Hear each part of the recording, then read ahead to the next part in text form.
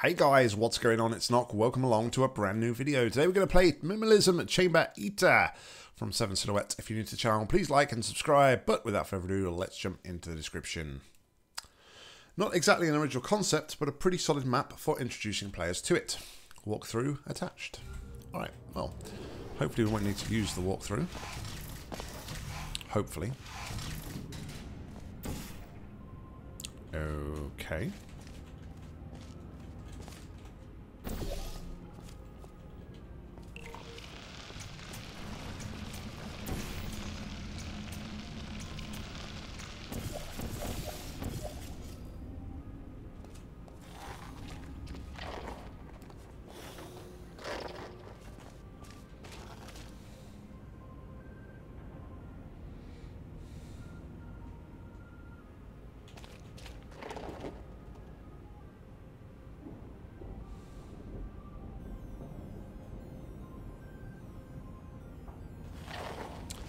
哈。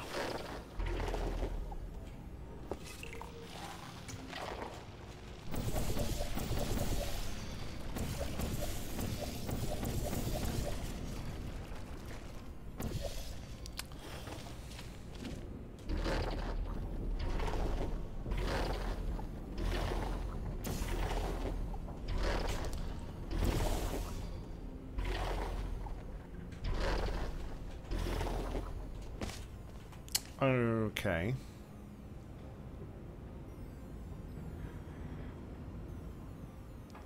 The idea, I think, is to get enough height to bounce out of there and over to there. Next question is... I don't think I can, but... Nope, that's my answer. Can't bounce across to there.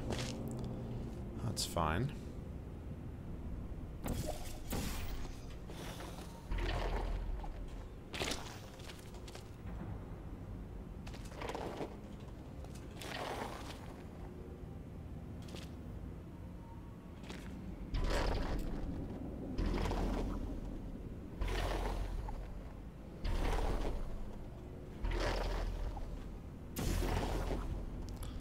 So can I...